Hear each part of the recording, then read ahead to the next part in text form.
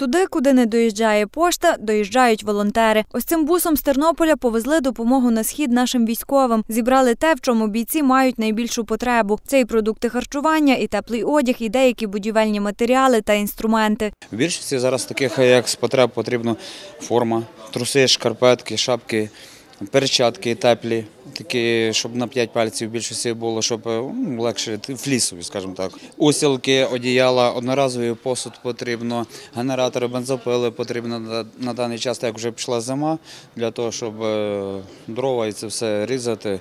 Вручну, ну, вручну ріж, але ти набагато і надовго не наріжеш. Так само потрібні на даний час буржуйки.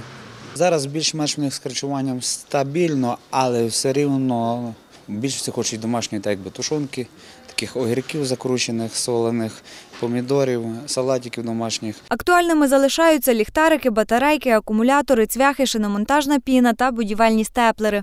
Хлопці дуже просять отакі будівельні скоби від 30 до 40. Потрібні для того, щоб е, облаштовувати бліндажі, для того, щоб е, коли бліндажі робляться, їм доставляють, е, сказати, бревна, ліс доставляють. але вони не мають чим його скріплювати. Для скріплення, будь ласка, хто може, хто має, хто робить, чи навіть матеріал, арматуру, чи такий грубий дріт. У нас є людина, яка згідна робити сама, тільки їм доставляти матеріал на скоби.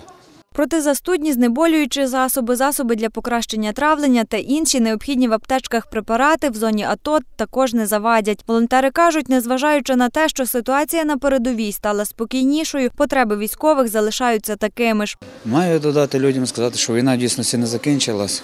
Просто це було затишя перед цими виборами. Так що війна продовжується, хлопців потреба на даний час є. Сказати, чи можете, допомагайте, ми вас розуміємо. Нагадаємо, речі для бійців можна приносити в логістичний центр, що знаходиться за адресою Збаразка, 16 на території гуртовні Галант.